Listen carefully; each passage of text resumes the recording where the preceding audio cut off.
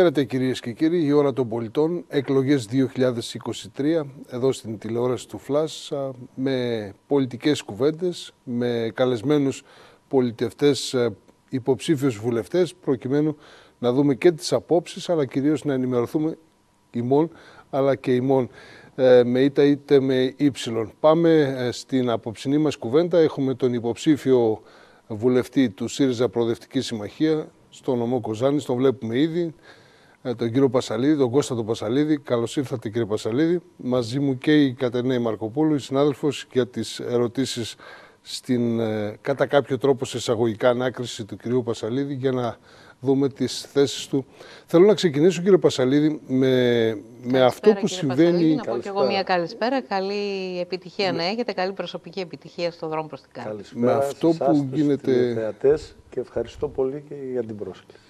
Με αυτό που γίνεται τελευταία και είναι κυριολεκτικά μια αναταραχή. Ε, μιλώ για τον οικισμό, την κοινότητα Καλαμιάς, αλλά στο πρόσωπο αυτής, δηλαδή στην κοινότητα, νομίζω ότι αντίστοιχο θέμα υπάρχει σε όλη την Δυτική Μακεδονία, σε όλη τη χώρα θα έλεγα, αλλά εμείς θα εστιάσουμε στην περιοχή μας με αντιδράσεις από τις τοπικές κοινωνίες ε, σε σχέση με την εγκατάσταση ε, ανανεώσιμων πηγών ενέργειας, είτε φωτοβολταϊκών πάρκων, είτε ανεμογεννητριών λίγο ψηλότερα στα βουνά. Θέλω την άποψή σας περί αυτού για την εγκατάσταση ανεμογεννητριών. Ε, κύριε Μαυρίδη, εμείς δεν είμαστε και σαν ΣΥΡΙΖΑ Προοδευτική Συμμαχία, αλλά και προσωπική μου ε, θέση και άποψη, δεν είμαστε ενάντια στις ΑΠΕ, στις ανανεώσιμες πηγές ενέργειας, πως θα ήμασταν ε, άλλωστε. Απλώς είμαστε ενάντια σε αυτό που, που συμβαίνει ε, στην περιοχή μας, αυτό που πραγματικά ε, κάνει η κυβέρνηση, είναι αντισυνταγματικό. Είναι αντισυνταγματικό, πραγματικά αγγίζει τα όρια της νομιμότητας, με την έννοια ότι χωρίς να λαμβάνει υπόψη ε, χωροταξικό σχέδιο, άναρχα, την συνένεση των τοπικών κοινωνιών, παρεμβαίνει στη ζωή, στη ζωή των ανθρώπων και εδώ μιλάμε ότι θα υπάρξει και οικονομικό αλλά και κοινωνικό πρόβλημα ε, όταν διαταράσεις ε, τον κοινωνικό ιστό. Ε.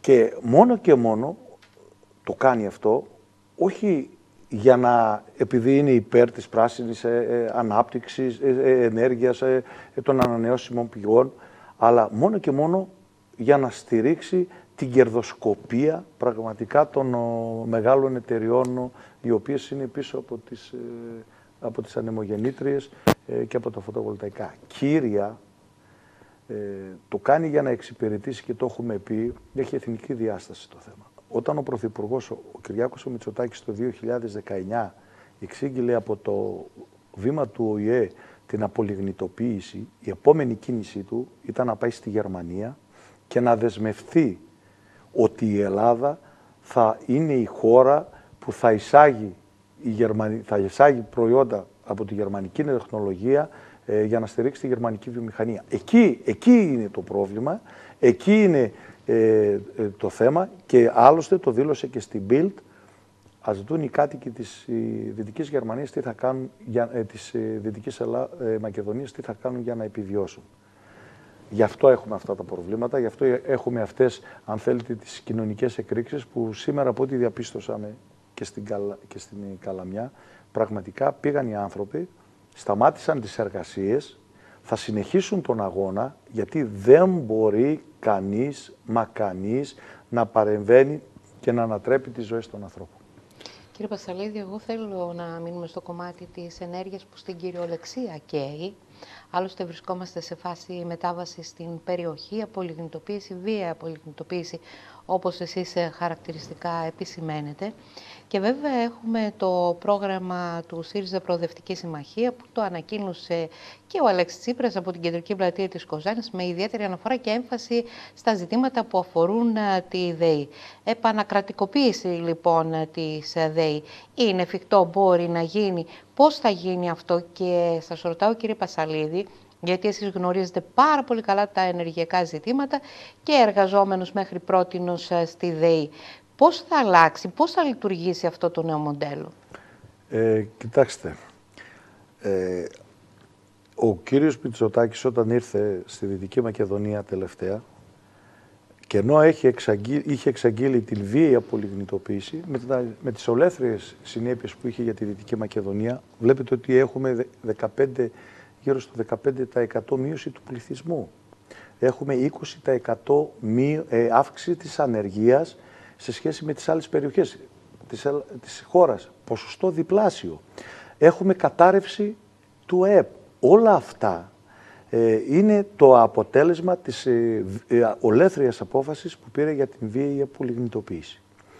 Και προφανώς δεν βλέπουμε ε, ένα εναλλακτικό παραγωγικό μοντέλο. Θυμάστε τον κύριο Μουσουρούλη που ερχόταν κατά καιρούς στην περιοχή Δυτικής στη Δυτική Μακεδονία και υποσχόταν επενδύσεις, υποσχόταν ότι θα έρθει σε επαφή με τους φορείς, θα, την άλλη μέρα θα υπάρξει ε, μια καινούργια παρέμβαση στην Δυτική Μακεδονία, δεν την είδαμε.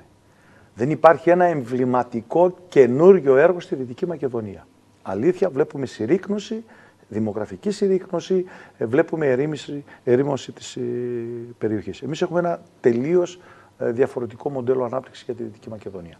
Καταρχήν και η έλευση του Προέδρου στην Κοζάνη του Αλέξη του Τσίπρα ήταν ξεκάθαρος και σαφής. Εμείς θα δουλέψει ε, η πέντε μονάδα με λιγνίτη σε βάθος χρόνου όσο αυτό χρειαστεί μέχρι να κάνει και την απόσβεσή της και δεν θα μπούμε στις λογικές και στα τερτύπια μετατροπών σε μονάδες φυσικού αερίου την λιγνητική μονάδα 5 και σήμερα είχαμε, ε, ε, αν είδατε, αν παρακολουθήσατε για την πέντε μονάδα υπήρχε, έκανα, έβγαλα μια και παρέμβαση, ναι, μια, μια παρέμβαση, με, την, ε, με ευκαιρία την ερώτηση, ε, την επερώτηση του Ευρωβουλευτή του ΣΥΡΙΖΑ του Πέτρου του Κόκαλη στην Κομισιόν ότι η απάντηση που ήταν ήταν ότι πλέον από το 28 και μετά η Ευρωπαϊκή Ένωση θα σταματήσει τη χρηματοδότηση ε, της πέντε μονάδες. Εδώ όταν ήρθε όμως ο κ. Μητσοτάκης είπε άλλα πράγματα. Άρα ή παραπλανούσε,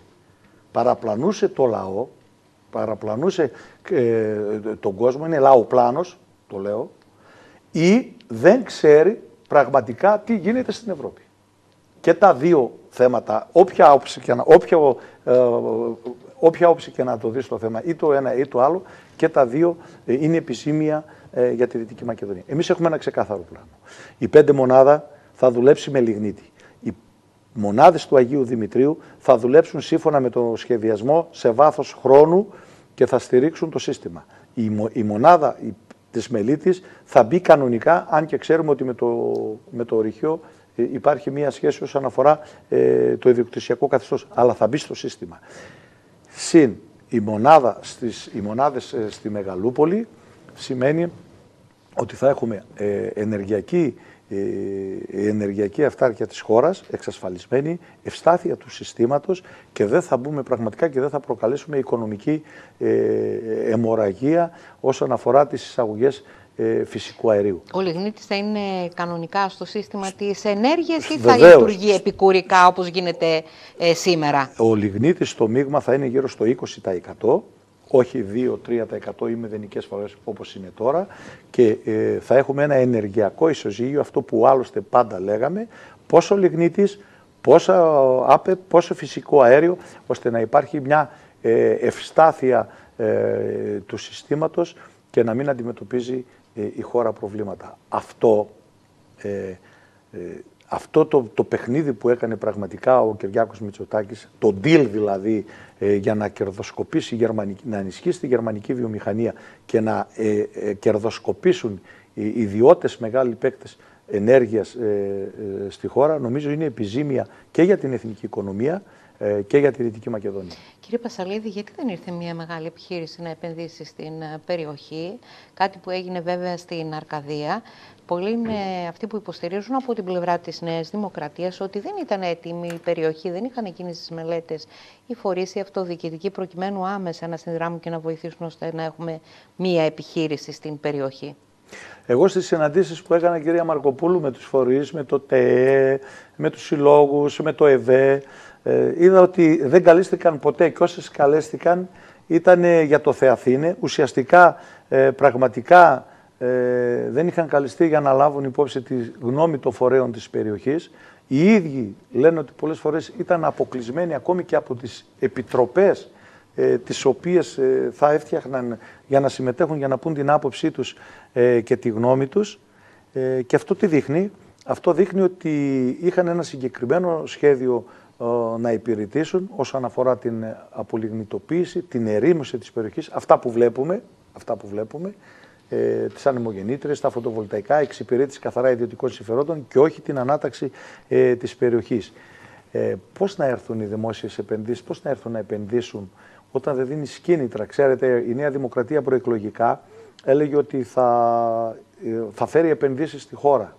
Ξέρετε ότι στη χώρα μας το 2022 είχαμε λιγότερες ε, επενδύσεις, ενώ περιμένανε γύρω στο 23% να υπάρχουν επενδύσεις, δεν έχουν φτάσει ούτε στο 10%. Ξέρετε ότι το 2022 δεν προσεγγίζει ούτε καν το 2019, χρονιά που εμείς παραδώσαμε την εξουσία όσον αφορά το ύψος των επενδύσεων στην Ελλάδα. Δεν έρχεται να επενδύσει ε, κάποιος υγιής επιχειρηματίας και μεγάλη ε, ε, μεγάλοι, ε, μεγάλοι επιχειρηματίες όταν δεν, δίνεις, δεν έχεις μια, ένα υγιές πολιτικό πλαίσιο το οποίο να μην αποβαίνει μόνο στην κερδοσκοπία, μόνο στο κέρδος των επιχειρήσεων, αλλά να αποβαίνει και προς όφελος της της τοπικής κοινωνίας. Και αυτό δεν να το μείνω λίγο στη ιδέα, Κώστα, για να το ναι, κλείσουμε λίγο το θέμα. Ε, έχετε σειρά συναντήσεων και επαφών, κύριε Πασαλίδη, λίγο πριν τις εκλογές, κάτι βέβαια που το κάνατε καθ' όλη τη διάρκεια των προηγούμενων χρόνων και ο συντονιστής του ΣΥΡΙΖΑ Περιφερειακής Ενότητας Κοζάνης. Ε, τώρα έχετε να παρουσιάσετε και τη νέα θέση πρόγραμμα αφήγημα του ΣΥΡΙΖΑ σχετικά με τη ΔΕΗ. Ε, έχει αποδέκτες, ε, με αυτούς που μιλάτε, είναι κάτι ουσιαστικό για την περιοχή αυτό το νέο πρόγραμμα του ΣΥΡΙΖΑ; Ο, ο, ο, η ΔΕΗ ξανά θα αποτελέσει τον έναν πυλώνα ανάπτυξης στην περιοχή. Και επειδή εμείς από τα πρώτα νομοσχέδια αυτό που θα κάνουμε είναι η επανακρατικοποίηση της ΔΕΗ, το ΔΕΛΤΑ δηλαδή θα επαναφέρουμε και ξέρετε δεν είναι δύσκολο, χρειάζεται πολιτική βούληση και πολιτική απόφαση. Τα χρηματοδοτικά εργαλεία και οι προϋποθέσεις υπάρχουν. Άλλωστε, αυτή τη στιγμή το 34% στη ΔΕΗ είναι στο δημόσιο. Τι κάνει η κυβέρνηση, χρησιμοποιεί αυτό το 34% που έχει μόνο και μόνο για να διορίζει, ε, για να ενισχύει ε, τους μισθούς των Golden Boys, ε, για, να, για να εργαλειοποιεί στην ουσία προς όφελος ε, της Νέας Δημοκρατίας ε, αυτό το ποσοστό. Για μας είναι ξεκάθαρο. Εμείς το 34% θα το κάνουμε 51%, θα επανακρατικοποιηθούν στο δημόσιο τομέα όλα τα δίκτυα και από εκεί και πέρα θα θα, θα αποσυνδεθεί ε, αυτό το έκτρωμα που έχει αυτή τη στιγμή η τιμή του ηλεκτρικού ρεύματος, ε, η τιμή του φυσικού αερίου με την τιμή του ηλεκτρικού ρεύματος, το όποτε ανεβαίνει το φυσικό αέριο να παίρνει τα ύψη και η τιμή ε, του ρεύματος και, αυτό, και φυσικά θα, θα φορολογηθούν τα υπερκέρδη των ιδιωτών τα οποία αυτή τη στιγμή η κυβέρνηση παρακολουθεί από μακριά χωρίς ε, να παρεμβαίνει. Αυτό δεν ανακουφίζει την κοινωνία. Ναι, στους λογαριασμούς ε, θα αποτυπωθεί η ναι, μείωση βέβαια, στην βέβαια, Βέβαια. Γιατί αυτό είναι που απασχολεί και τους πολλού. Δεν ενδιαφέρεται ο κόσμος για μεγάλες επενδύσεις και αυτά. Θέλει να δει έτσι. σήμερα ένα λογαριασμό που να είναι μειωμένος. Μειωμένος και στα νοικοκυριά, ιδίως και στα νοικοκυριά, αλλά και στις μικρές και, ε, τις μικρές και μεσαίες επιχειρήσεις. Και να αναφέρω το παράδειγμα, ε, πριν λίγες μέρες στην Τολεμαίδα σε μια συνάντηση με ε, ανθρώπους που έχουν επιχειρήσεις, μικρές και μεσαίες επιχειρήσεις, μου έλεγε άνθρωπος ιδιοκτήτης καφετέρης ότι τον ήρθε το, το ρεύμα 50.000 ευρώ. Και εμείς λέμε πώς θα σταθούν αυτές οι επιχειρήσεις όταν δεν τζιράρουν, δεν έχουν τζίρο, γιατί έχουμε ερημοποίηση, έχουμε μείωση του πληθυσμού, δεν βγαίνει ο κόσμος έξω. Πώς θα, σταθεί αυτή, ναι, πώς θα σταθεί αυτή η επιχείρηση και πώς μπορεί να ορθοποδήσει. Άρα νομίζουμε ότι ο ένας βασικός ανά, μοχλός ανάπτυξης για την περιοχή ε, θα είναι η ΔΕΗ με το πλαίσιο που σας είπα το, με τις μονάδες λειτουργίας, με μόνιμες προσλήψεις από τη στιγμή που θα αρχίσουν να λειτουργούν ε, αυτές οι μονάδες θα υπάρξουν και μόνιμες προσλήψεις. Ο δεύτερος τομέας θα είναι πραγματικά ε, η ενίσχυση και στήριξη του πρωτογενή και του δευτερογενή τομέα και ενίσχυση ε, στον, στην έρευνα και στην τεχνολογία, θα υπάρχουν δι, γενναίες δημόσιες επενδύσεις στη Δυτική Μακεδονία και βέβαια γενναία χρηματοδότηση όσον αφορά τη μικρή και μεσαία επιχειρηματικότητα. Είπατε ο ένας πυλώνας είναι η ΔΕΗ. Κατανοητό. Το, το, το περιγράψατε, το αναλύσατε. Ε, η περιοχή μας εδώ θα παραμείνει βιομηχανικό κέντρο, θα παραμείνει βιομηχανική περιοχή, θα αλλάξει μορφή, θα γίνουν επενδύσεις άλλης κατεύθυνσης. Ενδεχομένως θα σταματήσει αυτή η άναρχη επέκταση των φωτοβολταϊκών και των ανεμογεννητριών. Θα δούμε ανάπτυξη του πρωτογενή τομέα. Ξέρετε, ε, το περιγράψατε και νομίζω ότι έχει αποτυπωθεί και, στο, και στην ε, στατιστική αρχή. Υπάρχει ερημοποίηση, υπάρχει μείωση του πληθυσμού. Μπορεί αυτό να αναστραφεί και πώς; Μπορεί να αναστραφεί. Ε, σας είπα προηγουμένως τους τρεις πυλώνες ε, ε, ανάπτυξης ε, για την περιοχή. Από εκεί και πέρα νομίζουμε ότι πρέπει να δοθούν κίνητρα όχι μόνο στις μεγάλες, στις, στους μεγάλους στα ιδιωτικά συμφέροντα, εδώ στην κοινωνία. Δηλαδή, και σας φέρνω το παράδειγμα που, αναφέ, που αναφέρατε προηγουμένως για τα φωτοβολταϊκά. Δεν μπορούν, εμείς είμαστε υπέρ ε, τα φωτοβολταϊκά, ενεργειακές κοινότητες, οι δήμοι και οι συνεταιρισμοί.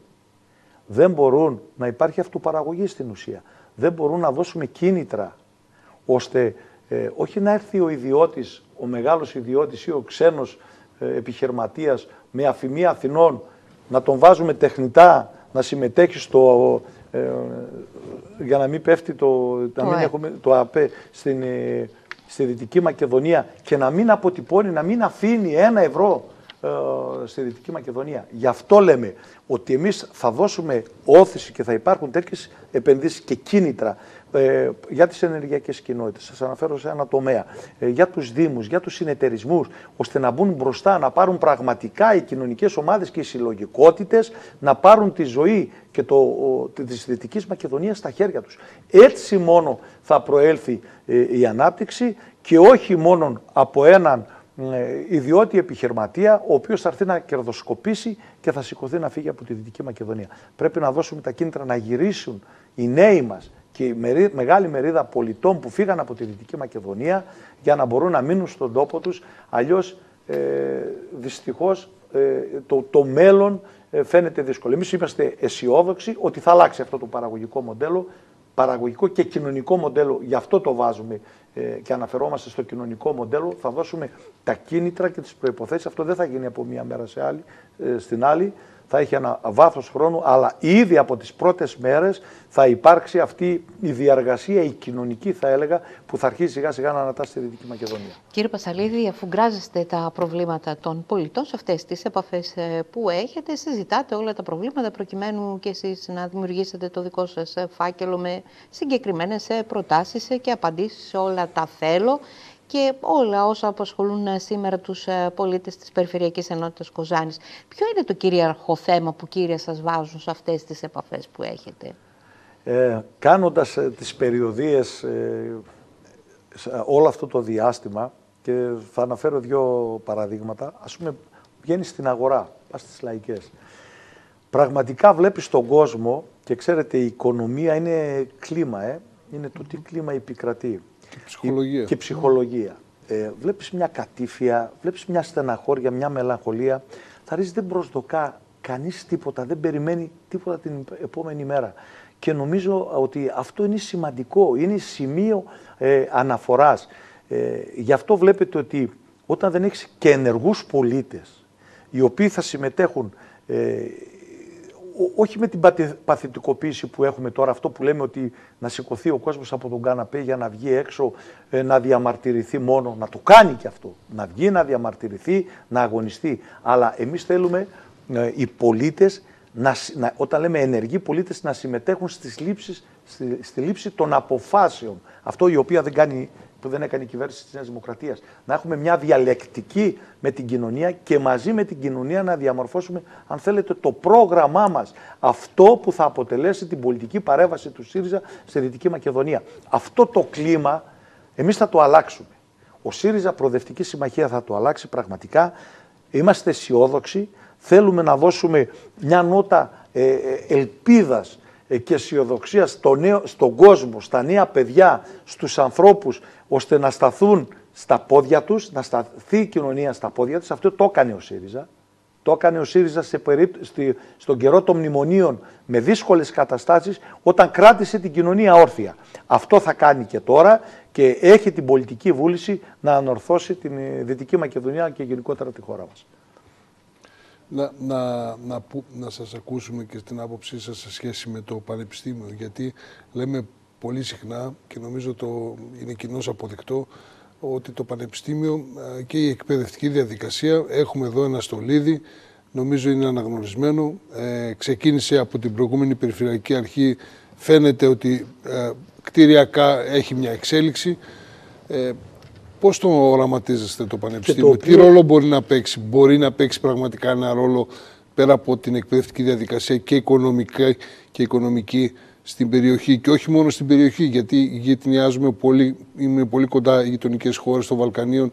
Ενδεχομένως να έχουμε και εισαγωγή φοιτητών, από τα Βαλκάνια, εάν είναι πραγματικά το Πανεπιστήμιο ε, σε ένα επίπεδο. Το Πανεπιστήμιο μπορεί να γίνει πραγματικά ένας πυλώνας ανάπτυξης με τα χαρακτηριστικά τα οποία αναφέρατε, να μην περιοριστεί μόνο στον εκπαιδευτικό του ο χαρακτήρα, το οποίος είναι σημαντικός, αλλά βλέπουμε την υποβάθμιση ε, που έγινε από την ε, κυβέρνηση της Νέας Δημοκρατίας με τις μειώσεις τιμημάτων, ε, με το να υποβαθμίσει γενικά το δημόσιο πανεπιστήμιο, είναι στο πολιτικό DNA της Νέας Δημοκρατίας. Σας κατηγορούν πάντως ότι και με την κατάργηση της φάσης της 10 τη βάση του 10 ε, και εσείς ο ΣΥΡΙΖΑ ενώ ε, θα υποβαθμίζετε την εκπαίδευση. Όχι, δεν την υποβαθμίζουμε. Εμείς θέλουμε να δώσουμε δυνατότητα ε, στου, στους νέους ανθρώπους ε, να μορφωθούν, ε, να μπουν στο πανεπιστήμιο.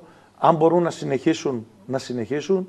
Εάν δεν μπορούν να συνεχίσουν, τουλάχιστον θα έχεις, ένα, θα έχεις κάποιους ανθρώπους νέους οι οποίοι θα είναι μορφωμένοι, θα έχουν την μόρφωση εκείνη ώστε να μπορούν να βγουν και σε άλλο κλάδο αν χρειαστεί σε τεχνολογικό ε, παράλληλα για να μπορούν να προσφέρουν τις υπηρεσίες τους. Αλλά ε, η, η είσοδος της βάσης του, του, 10 ε, δεν είναι ούτε ε, δωράκι ε, προς τους νέους, είναι μια συγκεκριμένη πολιτική απόφαση που δίνει τη δυνατότητα ε, στο νέο να μπει στο πανεπιστήμιο και από εκεί και πέρα, ξέρετε, πολλές φορές η μάθηση είναι μια διαρκής ε, διαδικασία ε, την οποία μπορεί στην αρχή να είσαι διστακτικός, μπορεί στην αρχή να σου φαίνονται δύσκολα, αλλά σιγά σιγά μπαίνοντας μέσα στο πανεπιστήμιο θα το αγαπήσεις, θα, θα, θα, θα έρθεις ε, με τους καθηγητές, με τους ε, συμφοιτητές σου. Και νομίζω ότι να δώσουμε το κίνητρο, να δώσουμε το κίνητρο στη νέα γενιά και στα νέα παιδιά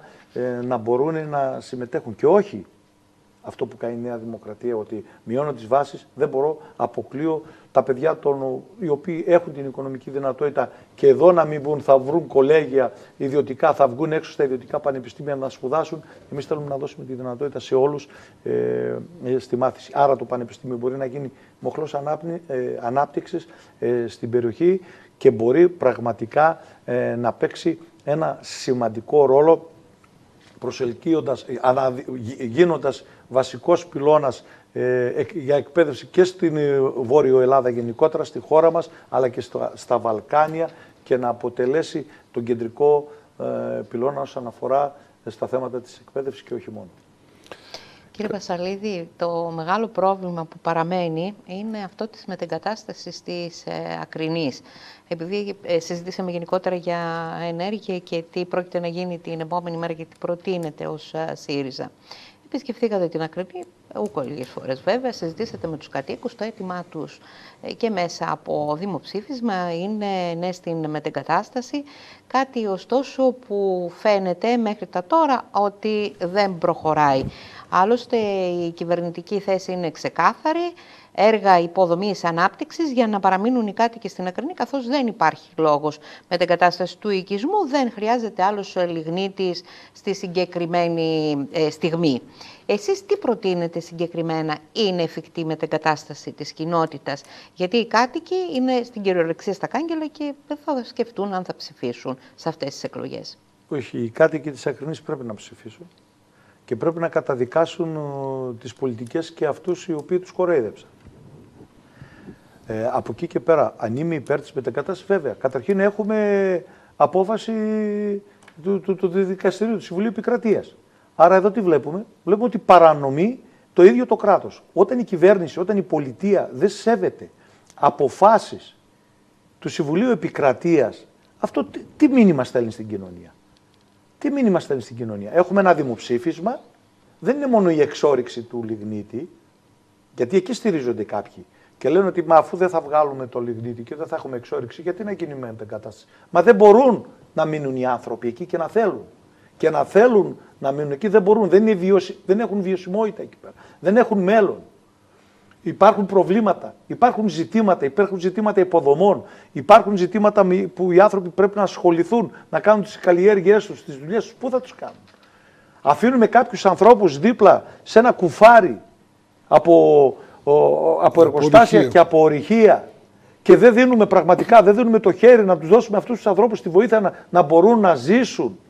Όχι πετώντας πέντε Άρα, άρα τι λέμε στους κατοίκους, ότι η κυβέρνηση την επομένη των εκλογών, εάν είναι. Ε, Αν είναι ο ΣΥΡΙΖΑ, θα υλοποιήσει. Αυτό λέμε γιατί πάντοτε ο ΣΥΡΙΖΑ σέβεται Καταργούμε τον νόμο που προσφάτως ψηφίστηκε και επαναφέρουμε τον νόμο της ε, μετεγκατάσταση. Τις αποφάσεις των δικαστηρίων. Ναι, υπάρχουν. Μα άλλωστε ο ΣΥΡΙΖΑ το ξεκίνησε γι' αυτό για τη μετεγκατάσταση. Ανεξάρτητα και αν υπήρχαν, ναι, υπάρχουν που λένε αυτό που αναφέρουν. Ναι, υπάρχουν ευθύνες και στο ναι, ΣΥΡΙΖΑ υπάρχει, που δεν βεβαίως, προχώρησε πιο γρήγορα τη μετεγκατάσταση. Βεβαίως, αλλά να, να πω κάτι το θέμα της μετακατάστασης εγώ το θυμάμαι για την Ακρινή από το 8 άρχισε το 9, 10 πιο έντονα, πέρασαν τόσα χρόνια και όταν μπήκε ο ΣΥΡΙΖΑ ήταν η μόνη κυβέρνηση που το 2017 έκανε και για το προεδρικό διάταγμα, για τη μετακατάσταση, έκανε το 50-50, 50 από τη ΔΕΗ για να γίνει μετακατάσταση, το κόστος εννοώ 50-50, ε, και τα υπόλοιπα από τον προπολογισμό για να διευκολυθεί η κατάσταση. Μας πρόλαβαν όμως οι εκλογές και δεν προλαβάμε να υλοποιήσουμε την. Ναι. Τώρα που θα κρατικοποιηθεί πάλι δεν είναι πολύ πιο εύκολο να δοθεί η αποζημίωση στους κατοίκου για τη μετεγκατάσταση. Και εμείς έχουμε και πολιτική απόφαση από τα συνέδριά μας ε, μέσα ότι σεβόμαστε τα τοπικά δημοψηφίσματα. Γι' αυτό το, το, το, το, το λέμε. Και όταν έχεις ένα δημοψήφισμα τοπικό το οποίο έχει φτάσει που φαίνεται το 70-72%. 72. 72% έτσι ακριβώς. Που μιλάει για, ε, για μετεγκατάσταση. Εμείς θα υπηρετήσουμε αυτό που θέλουν οι τοπικές κοινωνίες και αυτό θα κάνουμε. Άλλο τελεία. Πάμε σε διάλειμμα και επανερχόμαστε αμέσως μετά. Εδώ με τον καλεσμένο μας, τον υποψήφιο βουλευτή του ΣΥΡΙΖΑ, τον κύριο Κώστα Πασαλίδη.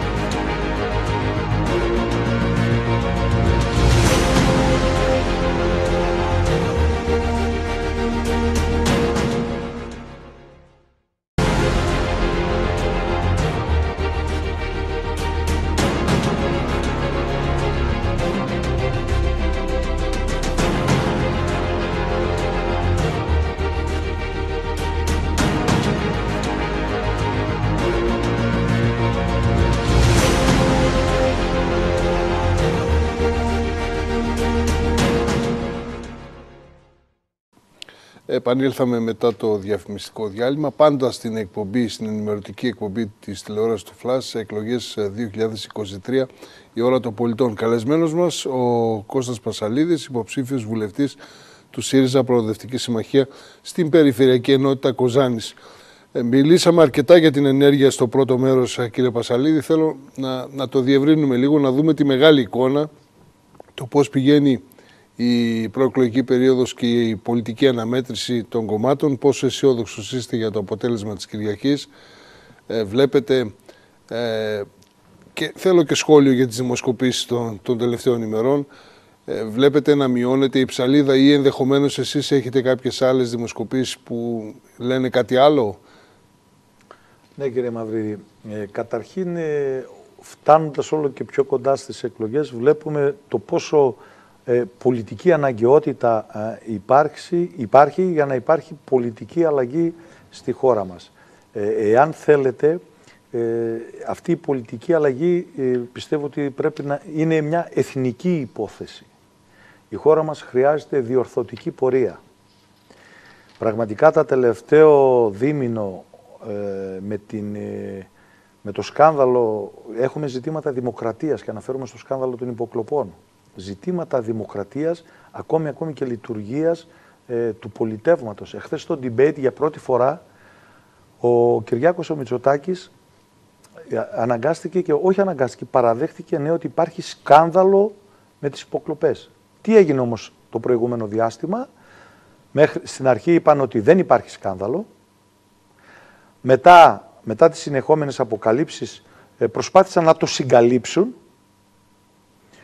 Η τρίτη φάση ήταν ότι να βγει ο Πρωθυπουργός από το κάνδρο και ότι την ευθύνη την έχουν οι υφιστάμενοι του, ο Δημητριάδης, ο, ο διοικητής της ΕΕΠ και αυτός να μείνει αλόβητος και παράλληλα υπήρχε και η χειραγώγηση το τέταρτο στάδιο που επιχείρησαν να κάνουν, γι' αυτό λέμε ότι η δημοκρατία μας είναι τραυματισμένη στη χώρα. Ε, τι επιχείρησαν να κάνουν, να χειραγωγήσουν την ε, δικαιοσύνη, τους δικαστές, να στραφούν ενάντια στη δικαιοσύνη και στις ε, ανεξάρτητες αρχές, να φοβήσουν, για να πούν «Ω, μέχρι εδώ και μη παρέκει». Άρα όταν ε, έχουμε σκα, ε, τέτοιο σκάνδαλο και όταν έχουμε την απόφαση του Ευρωπαϊκού Κοινοβουλίου, η οποία τι, τι είπε, ότι το ΠΕΓΑ, το Πίγκασος, το κακόβουλο λογισμικό το οποίο το εξάγουμε και όλες και σε άλλες χώρες και το Μέγαρο Μαξίμου, το κέντρο των παρακολουθήσεων είναι ένα και το αυτό. Και κάνει 12 συστάσεις στο Ευρωπαϊκό Κοινοβούλιο προς την Ελλάδα. Είναι πλέον ζητήματα δημοκρατίας. Δυστυχώς, κύριε Μαυρίδη. Ο, ο Νίκος Ανδρουλάκης στην τηλεμαχία είπε να πάνε φυλακή. Οι υπεύθυνοι. Σας βρίσκει σύμφωνο κάτι τέτοιο. Είναι πολιτικά πρόσωπα ότι που θα... ενδεχομένως θα καθίσουν στο σκαμνί; Το σίγουρο είναι ότι την επόμενη των εκλογών θα υπάρξει η διερεύνηση του σκανδάλου και όπου υπάρχουν οι ευθύνες, οι ποινικές και οι πολιτικές θα αποδοθούν. Αυτό θα το κρίνει η δικαιοσύνη. Δεν μπορεί όμως να μείνει έτσι δεν μπορεί πραγματικά ε, να μείνει έτσι αυτή η κατάσταση, γιατί πραγμα... γι' αυτό λέμε εμείς ότι είναι η χειρότερη κυβέρνηση ε, που πέρασε ε, από την μεταπολίτευση. Πού είδατε πρωθυπουργός να παρακολουθεί ο ίδιος ο πρωθυπουργός, ο ίδιος ο πρωθυπουργός, από τη στιγμή που είναι ο πολιτικός προϊστάμενος της ΕΕΠ, δεν μπορεί να λέει δεν ξέρω, δεν είδα, δεν γνωρίζω τίποτα, το ότι είναι επικίνδυνος, το ότι είναι επικίνδυνος για τη χώρα. Δεν μπορεί να λέει δεν ξέρω Παρακολουθούσε το μισό υπουργικό του συμβούλιο. Παρακολουθούσε πολιτικούς αρχηγούς. Παρακολουθούσε την ηγεσία του στρατεύματος. Μα αυτό παραπέμπει σε τριτοκοσμική χώρα και όχι σε μια ευρωπαϊκή χώρα και σε μια χώρα που γέννησε ε, την δημοκρατία. Γι' αυτό λέμε ότι και προχθές στο debate φάνηκε ξεκάθαρα το πόσο πολιτικά απομονωμένος είναι ο Κυριάκος Μητσοτάκης. Εμείς είμαστε βέβαιοι ότι στις εκλογές ε, την Κυριακή, όσο και αν χειραγωγούν, γιατί μου αναφέρατε και τις δημοσκοπήσεις, και θα σας πω και την άποψή μου για τις δημοσκοπήσεις, δυστυχώς ε, τη χώρα την ε, κυβερνούν ε, άνθρωποι που παραπλανούσαν και παραπλανούν το λαό με φτιαχτές και στημένες ειδήσεις. Είναι εργαλείο δηλαδή κατεύθυνσης ε, της κοινής γνώμης.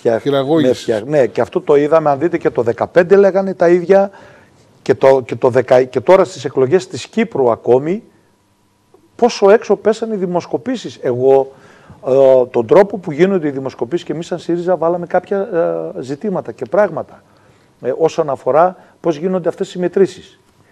Το θέμα όμως ότι είναι πιο ότι η μεγαλύτερη μέτρηση είναι η κάλπη της ε, και η πιο, και πιο επίσημη. Και, και βέβαια επίσημη. υπάρχουν και κάποια στοιχεία μέσα από τις ε, δημοσκοπήσεις με μια δεύτερη ανάγνωση που δείχνουν και τη δυναμική του κάθε κόμματος και τα προβλήματα αλλά και ένα μεγάλο κομμάτι αναποφάσιστων ε, αυτούς που πρέπει να κερδίσετε κύριε Πασαλίδη στις εκλογές της 21ης Μαΐου.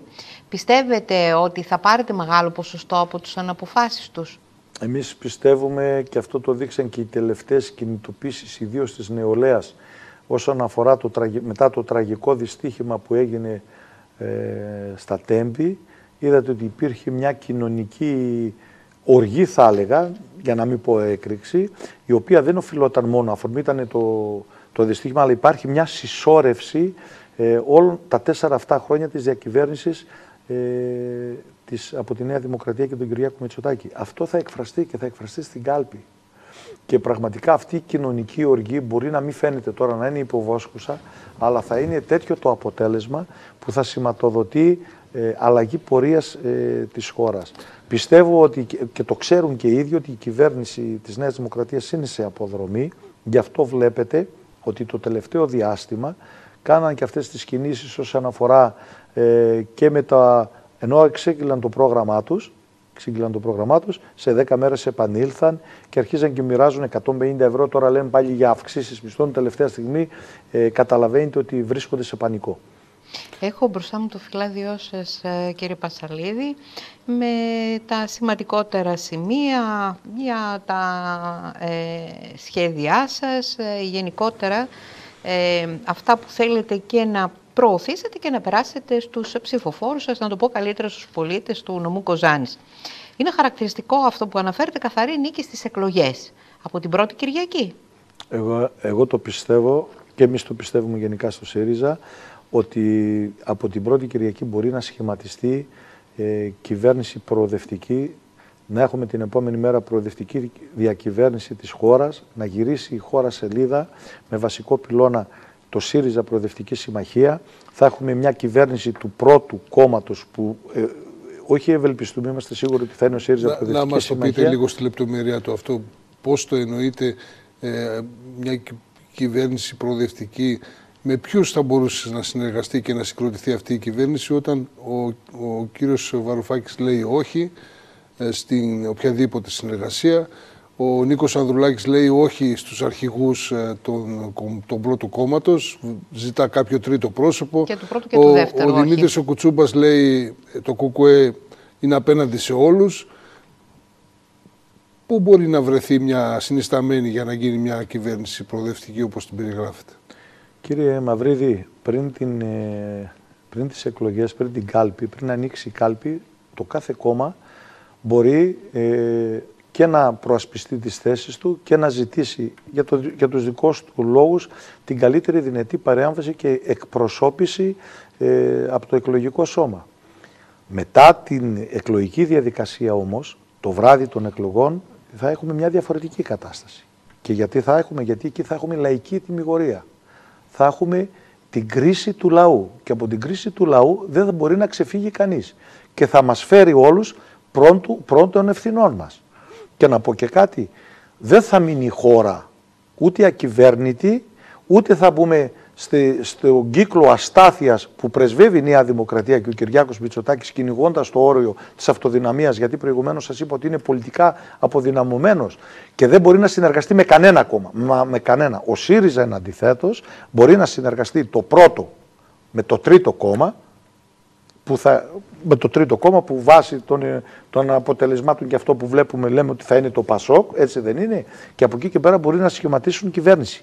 Εμείς δεν θα μείνουμε, ή και οποιοδήποτε άλλο κόμμα ε, μπει, υπερβεί το 3% και θέλει να στηρίξει αυτή την προσπάθεια, βεβαίως ε, δεν θα αποκλειστεί. Από εκεί και πέρα όμως εμείς δεν θα μπούμε ε, και στην ανοχή αν θέλετε να περιμένουμε ε, ε, από το τρίτο κόμμα να συνδράμει ή όχι. Εμείς είμαστε σίγουροι ότι το ποσοστό που θα έχει ο ΣΥΡΙΖΑ σαν πρώτο κόμμα με το τρίτο κόμμα θα δώσουν το βράδυ των εκλογών σταθερή κυβέρνηση μακράς η, μόνη, η μόνη μου έσταση ως πολίτης και δεν απευθύνεται η έσταση στο ΣΥΡΙΖΑ είναι το γεγονός ότι ε, όταν υπάρχουν προγράμματα διαφορετικά και αντιπαραθέσεις προεκλογικά, πώς είναι δυνατόν μέσα σε διάστημα μόνον τριών ημερών να, βρει, να βρεθεί σύγκληση και να, ε, να συμφωνήσουν για να συγκροτηθεί η κυβέρνηση. Ενδεχομένως να, θα έπρεπε ίσως να το ξαναδούμε αυτό ως χώρα, να είναι μεγαλύτερο το διάστημα από τις τρεις μέρες για να μπορεί να υπάρξει και μια συζήτηση, όπως για παράδειγμα στη Γερμανία που μετά από μήνες συγκροτείται η κυβέρνηση γιατί κάθονται κάτω και συμφωνούν. Μα κύριε Μαυρίδη, μάλλον δεν μπορεί να γίνει κάτι. Κύριε Μαυρίδη, δεν απέχουν παρασάγκας τα προγράμματά μας. Δηλαδή, πού θα διαφωνήσουμε εμείς με το Πασόκ και το Πασόκ μαζί μας όσον αφορά ε, την υγεία. Και εμείς αγωνιζόμαστε για το Εθνικό Σύστημα Υγείας, την ενδυνάμωση του ΕΣΥ και νομίζω ότι το Πασόκ ήταν και το κόμμα το οποίο το καθιέρωσε και στη χώρα. Νομίζω ότι εκεί συμπλέουμε. Πού θα διαφωνήσουμε με το Πασόκ όσο αναφορά το, την παιδεία; Βεβαίως δεν συμφωνεί σε όλα, αλλά υπάρχει ένα μίνιμουμ πολιτικό πρόγραμμα. Υπάρχουν οι βασικές κατευθύνσεις, οι οποίες βεβαίως μπορούμε να συμφωνήσουμε και να πάμε τη χώρα μπροστά. για, τα, για, τα, για τις παρεμβάσεις στη δικαιοσύνη, για τη λειτουργία της δημοκρατίας, για την ενέργεια, ε, για τα στεγαστικά, για τα κόκκινα δάνεια, για, για την υγεία, για την παιδεία, για να, το, για να στηρίξουμε την κοινωνία και τις ευάλωτες κοινωνικές ομάδες, πού θα διαφωνήσουμε με το Πασόκ; Στο πρόσωπο. Γιατί το, ο Νίκος Ανδρουλάκης λέει όχι στον Άλεξη Τσίπρα.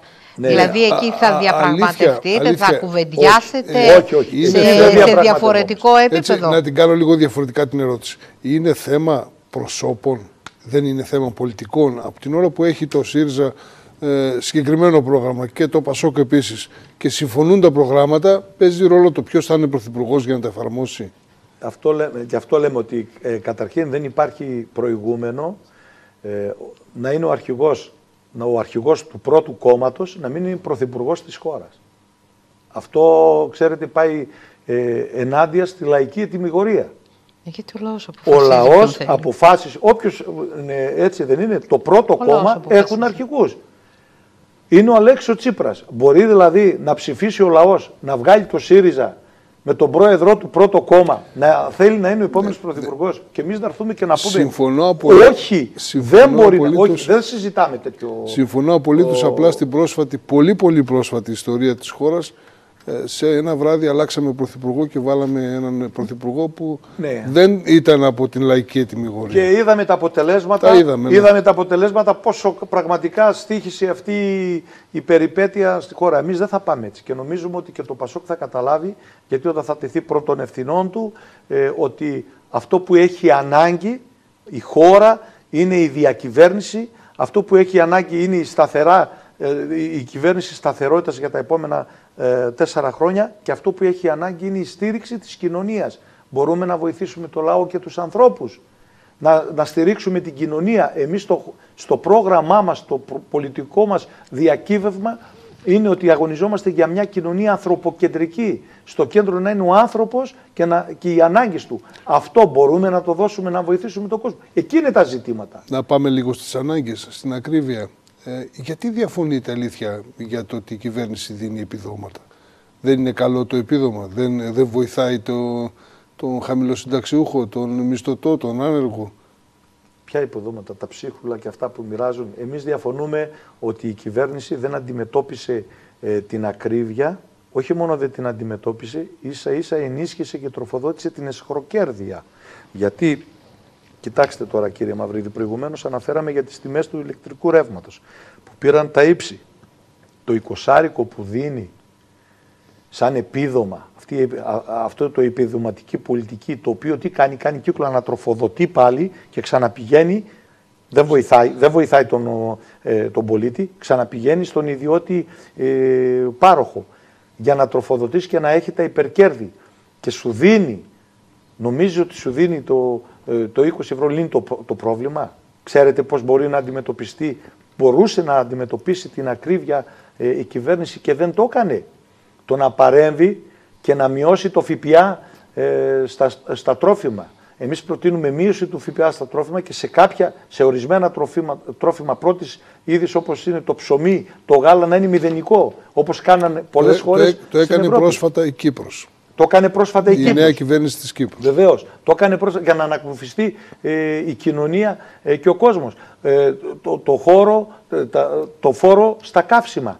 Γιατί δεν το κάνει αυτό, για να έχει υπερέσοδα ο προπολογισμό, για να έχει υπερέσοδα και να τροφοδοτούνται οι ιδιώτες φίλοι ε, της κυβέρνησης ε, και του Κυριάκου Μητσοτάκη. Έτσι όμως δεν βοηθά στην κοινωνία. Γι' αυτό λέμε ότι εμάς είναι όντως πολιτικό ε, πρόβλημα, δεν έχει την πολιτική βούληση να ανακουφίσει ε, είτε από την ενεργειακή κρίση, είτε από τον πόλεμο που υπάρχει στην Ουκρανία, είτε από την πανδημική κρίση που, που, περάσαμε σαν κοινωνία πραγματικά ε, να λύσει το πρόβλημα. Δεν λύνει το πρόβλημα με τα επιδόματα που αναφέρεται την επιδημοτική πολιτική, ούτε με το καλάθι του νοικοκυριού, ούτε με το καλάθι του νουνού, ούτε όταν, φεύγει, όταν φεύγουν τα μήλα από το Μεσόβουνο από τους αγρότες με 0,25 λεπτά. Ε, εδώ θέλει ελεκτικό μηχανισμό. Έτσι. Και πας και τα αγοράζεις 2 ευρώ και 2,5 ευρώ. Κάπου αυτή η Πόσοι τα ψαλίδα κερδοσκοπίζουν κάτι δεν πάει ενδιάμεσα; καλά. Πού είναι οι παρεμβατικοί μηχανισμοί να παρέμβει το κράτος για να συγκρατήσει τις τιμές;